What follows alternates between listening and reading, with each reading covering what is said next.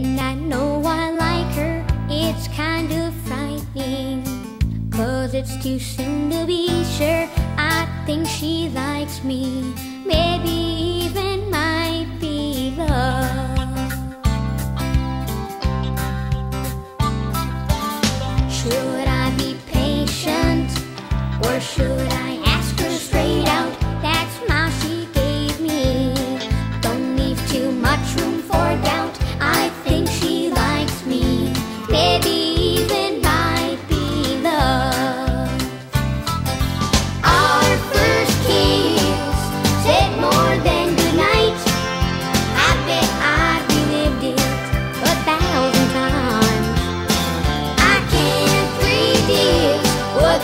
future.